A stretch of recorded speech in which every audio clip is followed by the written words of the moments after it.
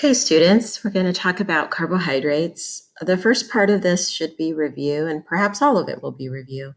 And then what we're going to do is head into my favorite section, which is metabolism. So we will have covered amino acids, proteins, right? Uh, we will have covered fats, and then now carbohydrates. And then we're going to pull it all together to explore how we use uh, carbohydrates and fats uh, for energy and kind of how all of the pathways uh, link together. So I'm excited to be in this particular section. So the simple way of looking at where we're headed is to talk about uh, glucose, C6H12O6. So here's our glucose, and that it is undergoing cellular respiration. Um, so reaction with oxygen to form CO2 and water. And on paper, it looks very simple, but yet as we get into the nitty gritty, it's actually a lot of different pathways make that happen. And the whole goal is to produce ATP, which is energy. In a reverse process, plants take CO2 and water to make sugar, and that's photosynthesis. That's something that we don't cover in this particular class. It's kind of its own separate uh, biochemistry from uh, where what we're studying. Carbohydrates have a lot of different functions. Our goal in this class is going to be to look at it in terms of metabolism, storage, and generation of energy. But uh, carbohydrates play a role in the immune system as far as molecular recognition, in bacterial and plant cell walls for cellular protection, uh, glycoproteins for cell adhesion, and then there are certain types of polysaccharides, uh, sugar um, polymers like cellulose and chitin that maintain biological structures. Monosaccharides are simple sugars from three to nine carbons. Oligosaccharides are formed when you link together monosaccharides uh, with a few of them. So examples would be like a disaccharide with two. And then polysaccharides are polymers formed from many saccharide units. Okay, our most simple monosaccharide will ha- saccharides will have three carbons, and those are the trioses. And uh, D-glyceraldehyde is shown here. We'll talk more about what the D means in a moment. And D-glyceraldehyde is an aldose aldehyde. So here's our aldehyde group. Do you remember that from our OChem? And then uh, it is in equilibrium with its ketose, the ketone group over here. And that equilibrium goes through what's called an enediol intermediate. So this is an equilibrium process. Um, the enediol is very unstable, so it's hard to isolate that, and you wouldn't be able to. Uh, but these undergo an equilibrium process between aldose and ketose. Okay, and um, when you have that scenario, um, the aldose and the ketose are what are called tautomers of each other. Okay. All right, so let's talk about stereochemistry with the monosaccharides, the trioses. Um, you learned in your OChem two different designations for this. Uh, so let's take a look at D-glyceraldehyde. If you look at this carbon here, that carbon has four different groups around it. And so it's going to have a mirror image of each other, of itself, sorry, that is not superimposable. Now, the ketose shown is not that mirror image. We'll see it here, I believe, in the next slide. Um, actually, it's between these two here. So these guys would be mirror images of each other.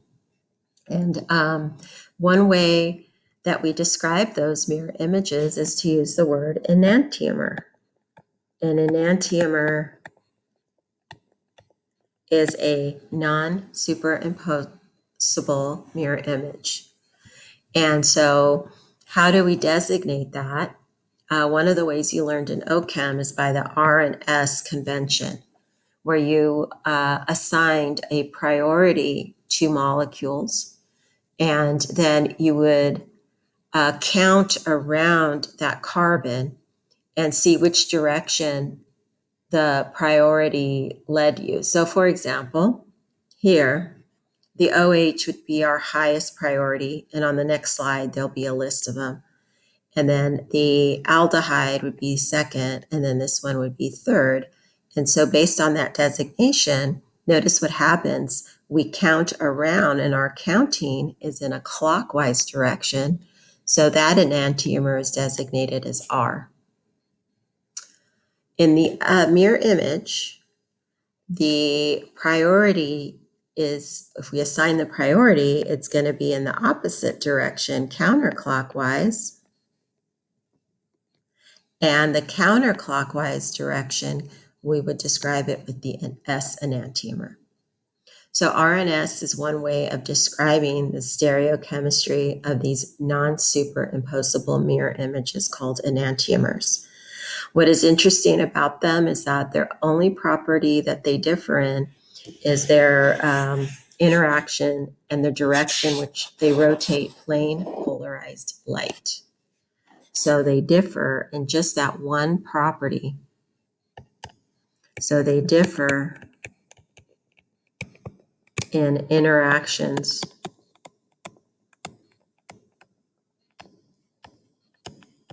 with plane polarized light.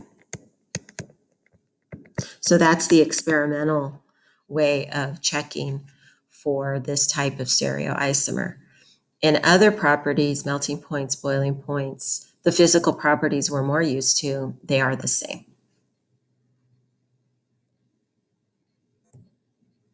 So, in as review, the RNS nomenclature system, you'd have these priority groups. So here's the OH was given a higher priority, uh, right? That was our number one. To the aldehyde, which is number two. To the uh, alcohol group, which is three. And since we based it, then we would count either count those up in either a clockwise or counterclockwise position on that enantiomer, and then we designate it either R or S. Okay, so if the groups are going clockwise in terms of the numbers one, two, three, then that would be the R configuration. If they're going counterclockwise, that would be the S configuration. Okay, so that's not the only type of designation to determine uh, stereoisomers and their relationships. Another is uh, the absolute configuration based on crystal structures of D-glyceraldehyde. And what was noted based on X-ray diffraction uh, was that the OH is on this side of the carbon. And when it was said to be on that side, it was given the D designation. On the other side, it's given the L designation. So the DNL is an absolute configuration. And um, so that's based on data, experimental data. So when you're given a molecule, D and L, that's from empirical data that was collected regarding that molecule.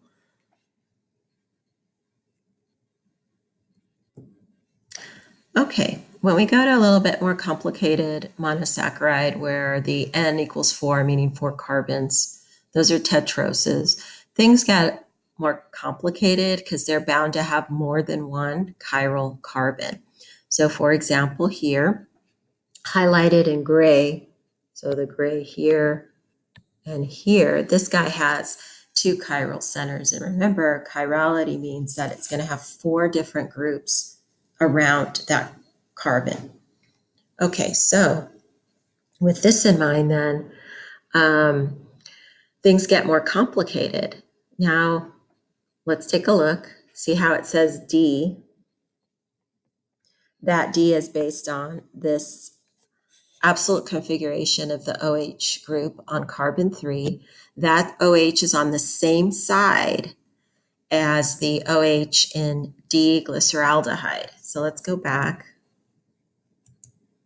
See here, the OH is on this side of the carbon. That has the D designation.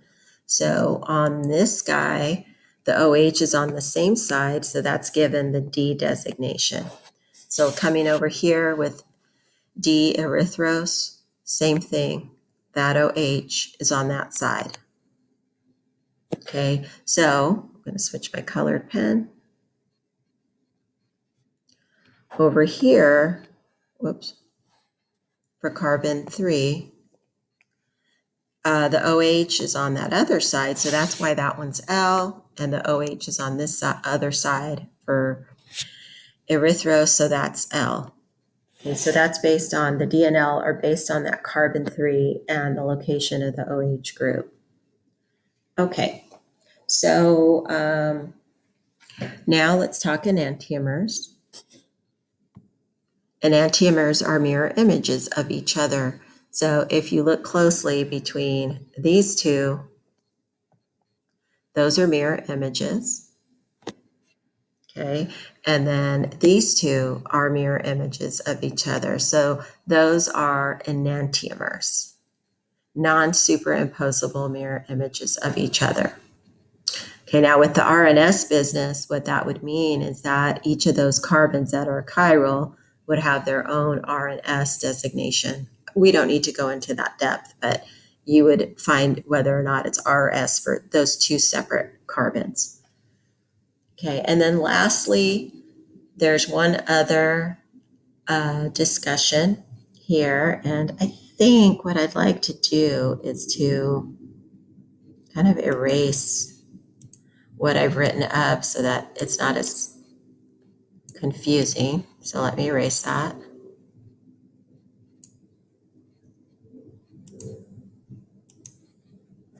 Okay, there's another term uh, which are called uh, diastereomers. Okay, and uh, diastereomers are optical isomers that are not mirror images of each other. And so um, the way that I think of these is to take a look at these t- two sugars or four sugars in comparison with each other. So, like the D and the L threose are enantiomers to each other, and D and L erythrose are enantiomers to each other. And so now the question would be what if we were comparing those two sugars to them to each other? So the threose to the erythrose. So if we take a look at these guys here, okay, if you notice, this carbon 3 is the same, right? But carbon 2 are not the same to each other. And so those will still be optimal optical isomers, but they're not mirror images. And they're actually what are called epimers. They differ from each other in the configuration at only one carbo, uh, chiral carbon. So you see how carbon 3 is the same between D-threose and D-erythrose, but carbon 2 is different. So that would make these guys epimers.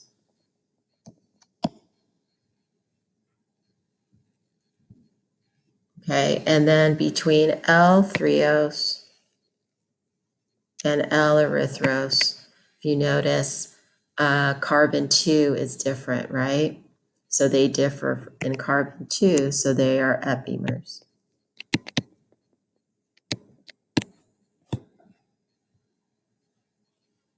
Okay.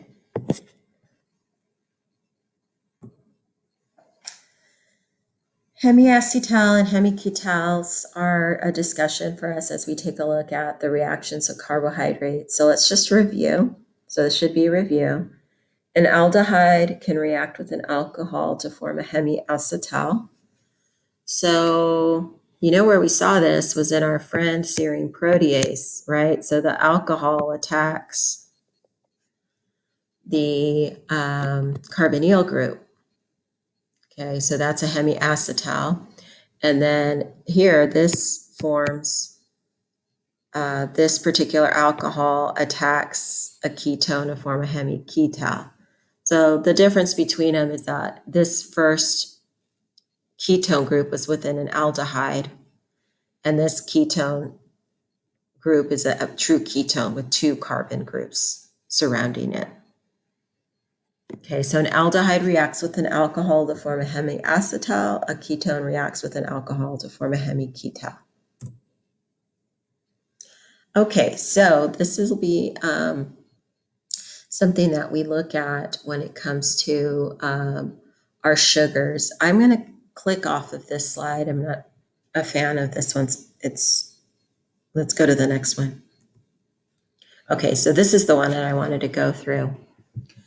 Couple of ideas here, and there's a lot. So this is a really important slide. Okay, so this one I'm going to make is a key important slide for you guys. Um, here's glucose, six carbon uh, sugar.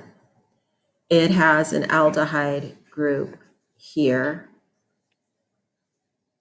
Okay, and it is uh, going to be able to form uh, a reaction with itself. In other words, I'm going to erase what I just circled.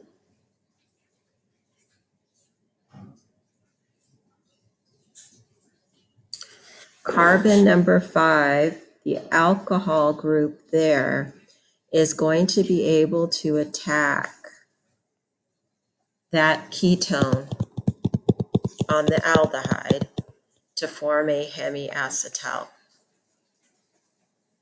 Okay, so this is an intra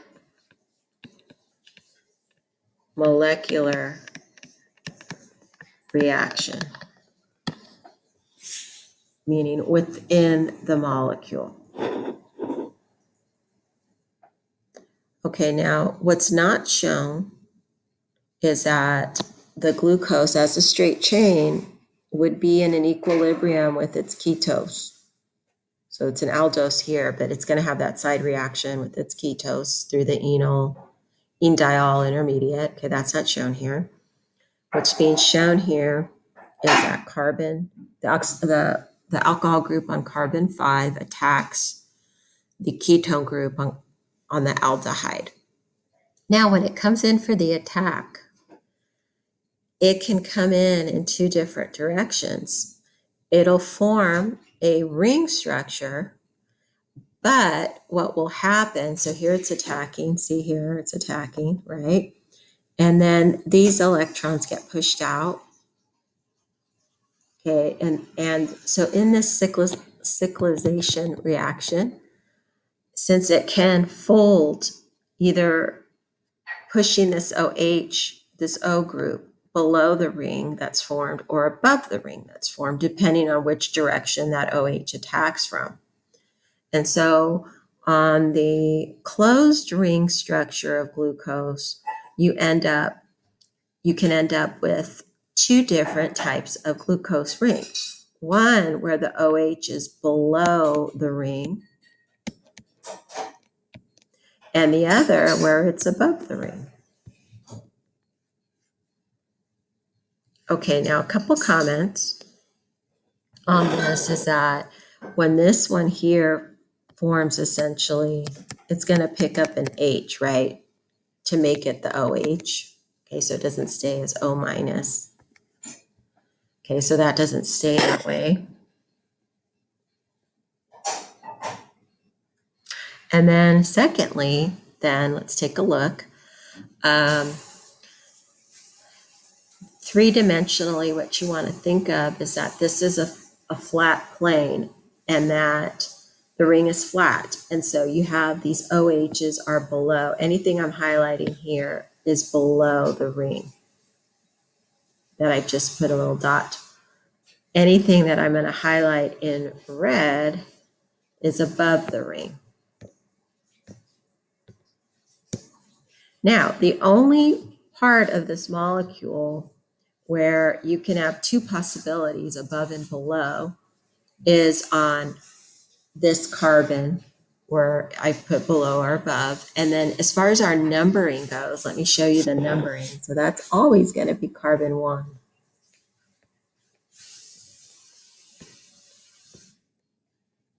So it's always carbon one.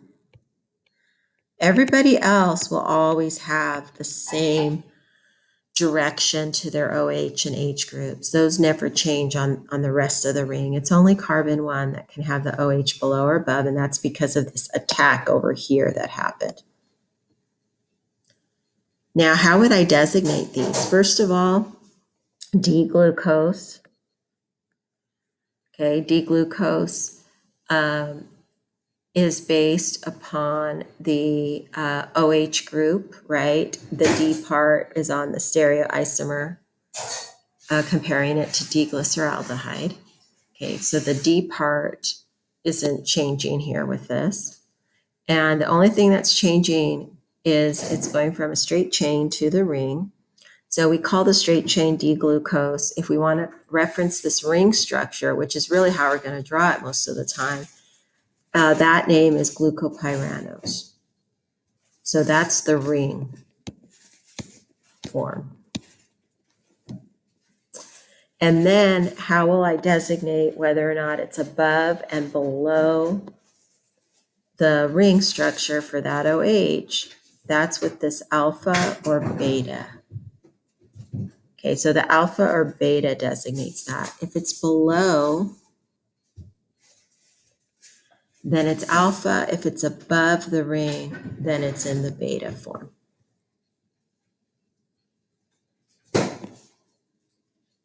Okay. And then you could write these with the Fischer projection formulas. But to be honest with you, um, what I would like you to know is to be able to write it in straight chain and in the ring form for memory.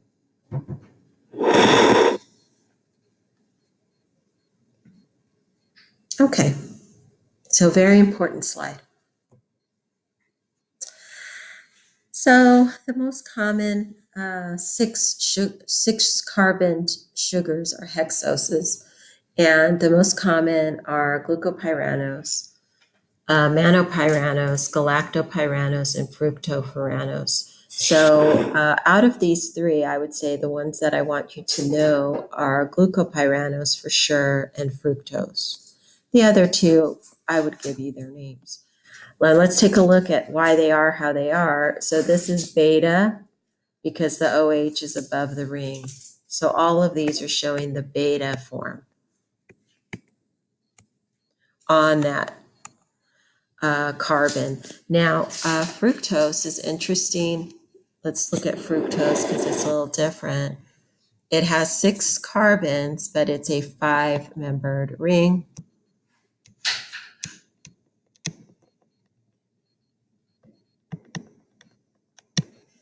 Fructose will be important to our discussion in metabolism.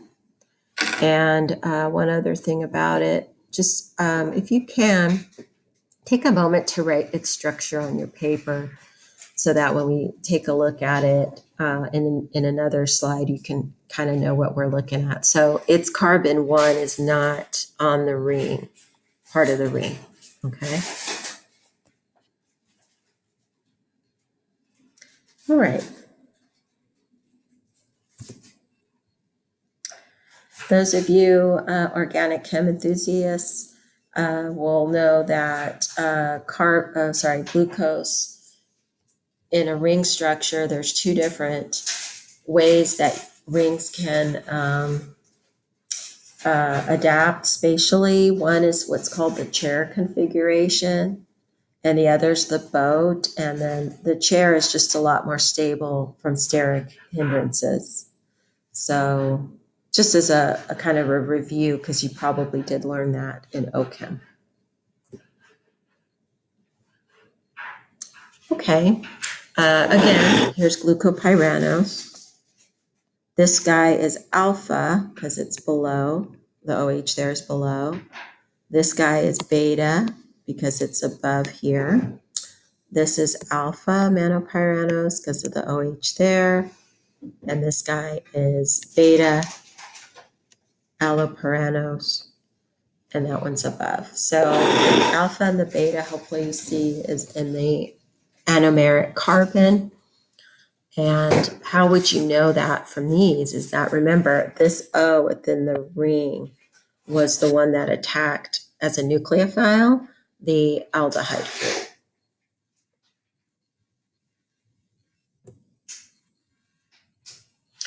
Okay, so a summary of the carbohydrate stereochemistry and terminology. Stereoisomers that are mirror images of each other. Okay, um, so in this case, D-threose and L-threose, those are enantiomers. They're mirror images of one another. And then the D and the L reference this OH group here. So that's that discussion. But if you look at these two, they look like they're looking at each other in a mirror, right? Diastereomers are not mirror images of each other. So these two are not because they're epimers, they differ around one of the carbon groups, right? You see how those are, um, oops, sorry, not that one. Here, those are okay, but here, uh, these are not mirror images of one another. So they, they differ around one of the carbon groups. Anomers are alpha and beta designations. So our alpha glucose here and our beta here. Okay, and epimers, stereoisomers that differ in conformation at one carbon other than the anomeric carbon. So if you notice here, these are just one of them are on opposite sides of each other. Okay.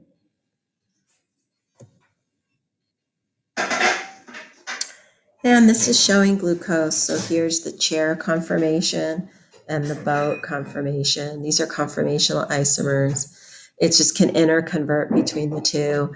And the chair form, because of the steric interactions, is the lowest energy form.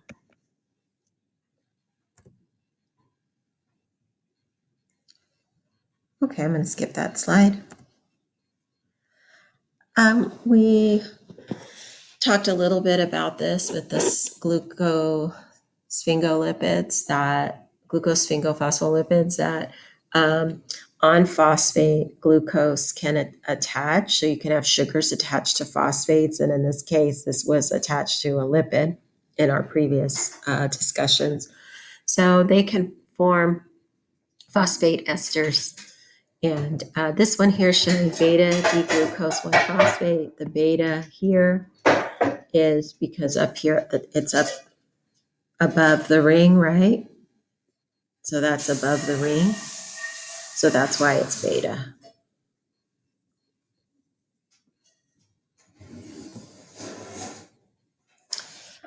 Um, there can be sugar derivatives. So um, there are what are called amino sugars. So you see how this looks similar to glucose, but it has the amine group.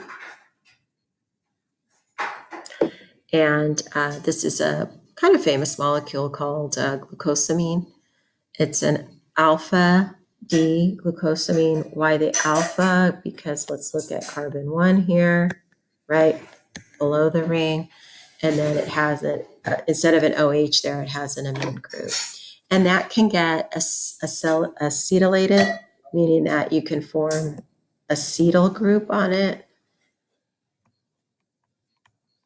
And we might encounter these later in, in later discussions. So just as an FYI, the sugars can be have slight variations on them. Okay, so let me show you in one more slide, um, just as an FYI that there's some abbreviations for some common monosaccharide residues. I think the important ones on here for us, just so you, in case you see it, so glucose will be GLC, galactose, GAL, fructose, FRU, ribose, RIB. Okay, so um, just as an FYI as we move forward, I think those are the four main ones that you should know. Okay, so let's try to make sense and at one of the Zoom um, Zoom lectures, we for Zoom discussions, we can uh, practice more writing these. Um, okay, so let's look at what we're looking at. So what will happen is that um, monosaccharides will react with each other to form disaccharides to form a very famous linkage in biochemistry called the glycosidic linkage. I don't think at this point it's a surprise that when they react this way, water comes out. Okay, so the first one there is, its nickname is maltose. It's formed from two alpha D glucose molecules coming together. Okay, so let's look at what happened. Let's count on the first glucose one, two, three, four, five, six. Second one one, two, three, four, five, six. So you see how they are linked between the carbon number one of one of them to carbon number four on the other guy. And so the linkage is a 1 4 linkage. That's because they are bonded between carbon number one. My one looks really bad, so I'm going to try to fix that guy.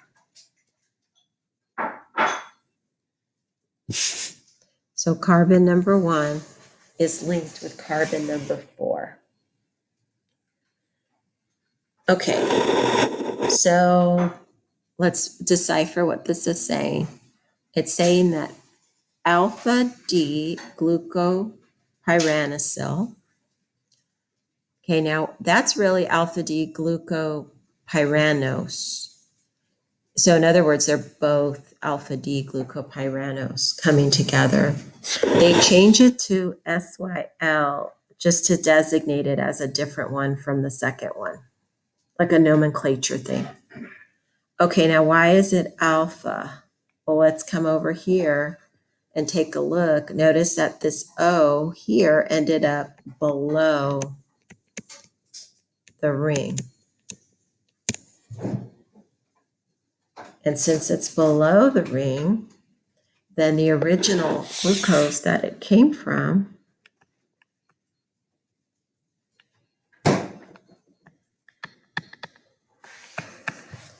must have had that OH below it. Okay, and I'm being lazy and not writing in the rest of them. Okay, so I'm just looking at carbon one.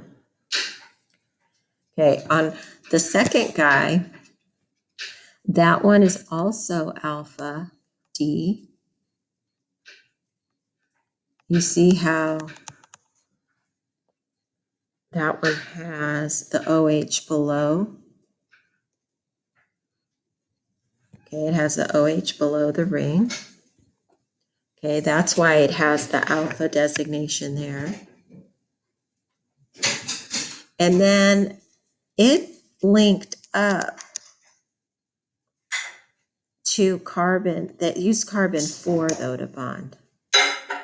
And you see how this OH would combine with that OH on the first one.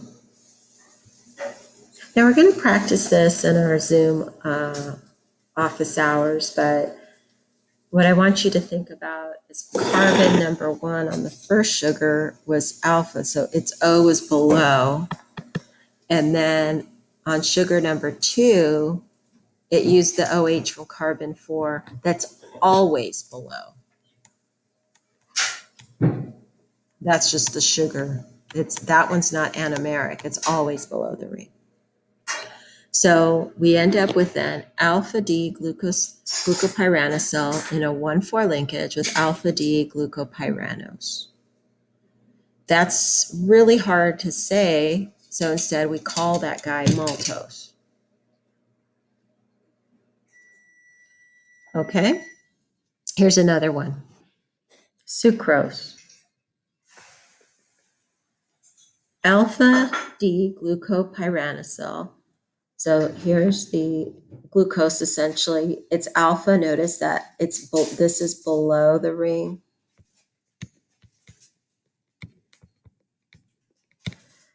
And then it's linked to fructose. Now, fructose, look at this, is so I asked you to write that down in your notebooks. One, two. So this guy looks different than perhaps you wrote it because it's flipped around in space. So this is fructose, what I call kind of flipped a little bit, but just your numbering. This guy up here is carbon one, and here's two. So if you notice the linkage is a one two linkage. And that's beta D fructofuranoside. Okay. And uh, so sucrose is a very famous disaccharide. And so I'd be really familiar with its structure. And we'll practice some writing together.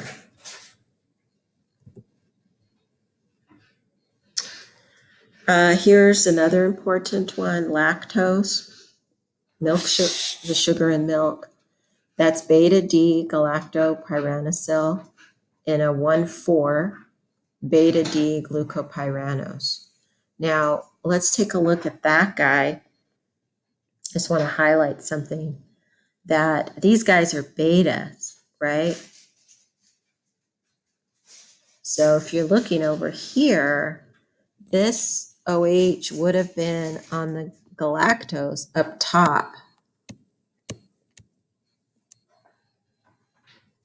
Okay, this OH on glucose is always below the ring. So if I was to draw that, I would have drawn it just a little bit differently. I just want to, sorry, when I move my computer, it makes a really bad noise on your end.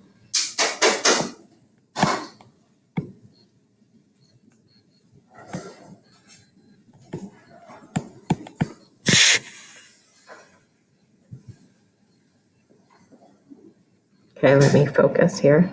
So here, I won't draw in the rest. This would have been the galact, yeah, the galactose. Just, I'm focusing on that carbon there. Okay, so that one's here. And then the glucose.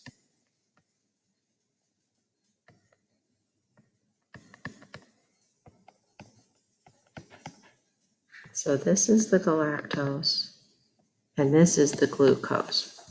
Okay, so what I want you to think is that when they come together to bond here, water's going to come out, right? And what you'll end up forming, though, that I think so important to recognize is that they will end up stacked one above the other. So uh, I don't have a lot of room, so I'll draw it over here.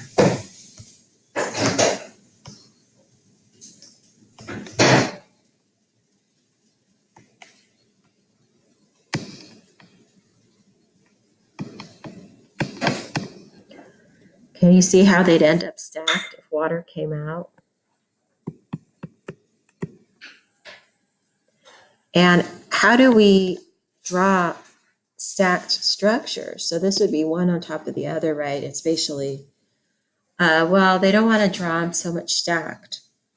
So instead, they use this curve designation. You see that business in the middle there? That's trying to get you to think that those are actually stacked. And then the other part I think is important is that that's beta D glucopyranose. So the, the beta part on this sugar has nothing to do with the linkage. It's, it's just showing you where that OH on the other, on carbon one is ending up. The beta part on the first one is important because it means that it's this guy that's above the, the plane.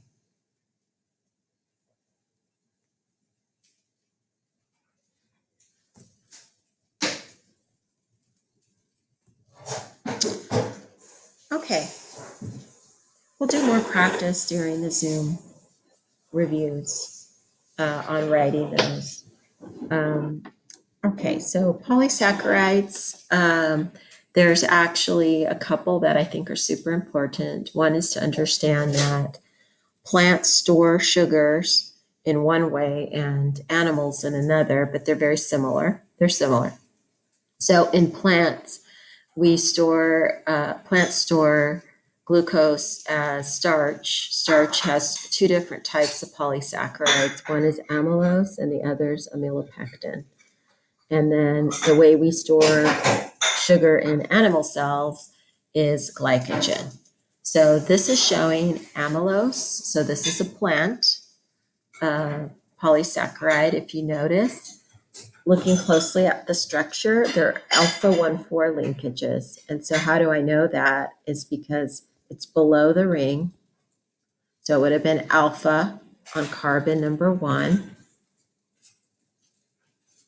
So, that's alpha. And then carbon 4 again is always below the ring. So, that one doesn't have the anomeric business. So, this is an alpha 1 4 linkage. Okay, and so that's amylose.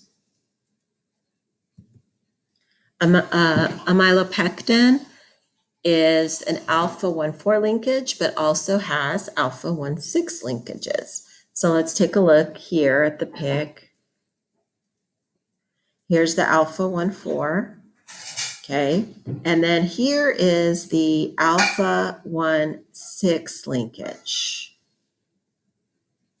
Couple comments. So let me write that out. Maybe it can help you to visualize what happened there.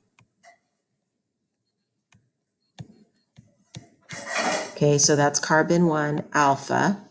And then on another glucose, it's reacting with carbon 6, which which that CH2OH. See how those guys can react with each other. Again, water is given off.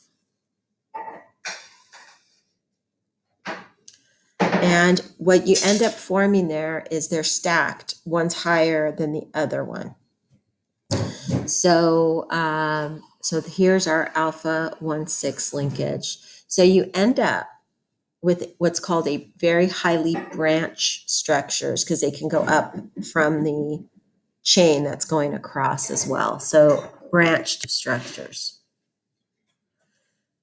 So to summarize, in plants, the storage monosaccharide is glucose, but it forms in linkages to form uh, amylopectin, which is highly branched, and amylose, which is not, is just more straight chained. Okay, so you have alpha 1 4 in amylose and in amylopectin, alpha 1 4 plus alpha 1 6, which creates branch structures. Okay, in animals, we store uh, our sugar as glycogen. Number one to know is that our number one place that we store glycogen is in the liver, followed by muscles. And one of the things you're going to learn as we keep moving forward is how important our liver is to metabolism. It's one of the main organs we rely on. So, glycogen stored in the liver and a small extent in muscle cells. Okay, so let's take a look at glycogen. Let's see what's up with its structure. It has the alpha 1 4 linkages, and it has the alpha 1 6 branch.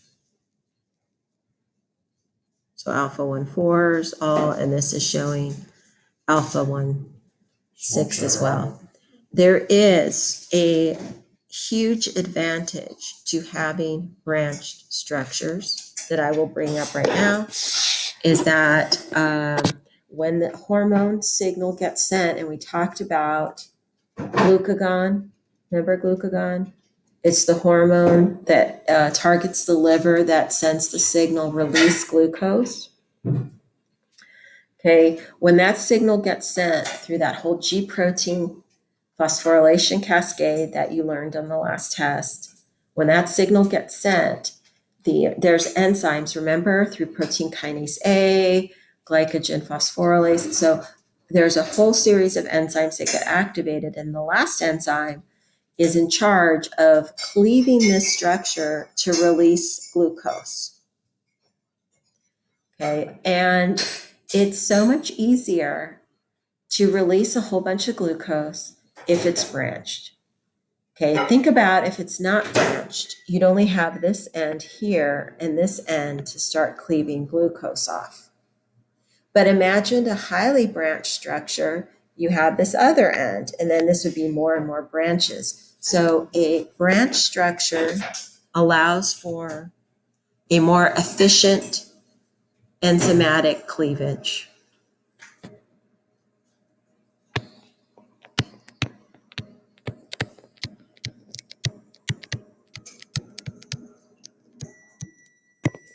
So a branch structure allows for more efficient and faster enzymatic cleavage.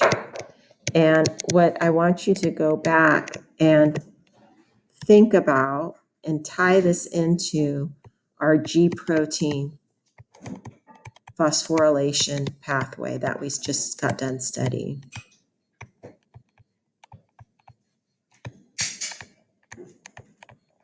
Hopefully you didn't forget it already. So one of the key things that hopefully you're learning in biochemistry is structure affects function. And it's a lot better if glycogen is branched so that when that signal gets sent from the hormone glucagon that you need blood sugar because your blood sugar is dropping, that you have a way of quickly cleaving it the more ends there are, the more, the faster it can go. Okay, the other thing as we look at the structure is just like we've talked a lot, is that this structure is extremely polar and it's going to attract water. And so, because of that, because it's attracting water, uh, there is a finite amount that can be stored in the liver. So the liver can't accommodate a whole bunch of it because when glycogen is stored, it's bringing water weight in there as well. So this is the opposite of our fat cells. Remember fats with the triacylglycerols? Those guys exclude water so you can pack a whole bunch of fat in your adipose cells. Sugar storage is different because this is going to attract, see all those OH groups, right? Very polar. And so when glycogen is stored in the liver, it's it's going to naturally have some water weight in there with it, which is going to limit how much can be stored.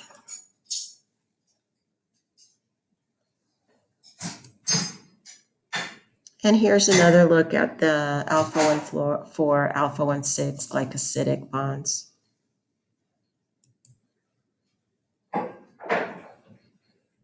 Okay. Um, there are structural polysaccharides of cellulose and chitin. These are not part of our metabolism discussion, but I do just want you to note here's chitin. It has a beta 1 4 linkage.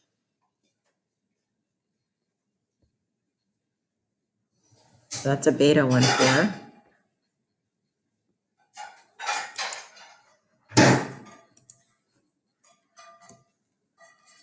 Cellulose, which is a major constituent of plant cell walls, beta one four. Okay, and so um, what you should be noticing here is that in our polysaccharides that are for strength, so chitin, cellulose for plant cell walls. The strength ones are end up being polysaccharides that are more like rope-like structures, and um, so those rope-like structures are called microfibrils, and those are linkages that are beta 1,4. So in our energy storage polysaccharides, alpha 1 4 and alpha 1 6 dominate. In the polysaccharides that are more for strength, like cellulose, beta 1 4 dominates, and it creates um, really strong chain like structures. Okay, and those are um, really important because they end up forming like these really thick bundles. So, again, the structure affects the properties. Okay, and here's another cellulose structure. I like this picture because it kind of gives you a visual. So in starch, in glycogen, so in starch, amylose, just your straight chain alpha 1 4s.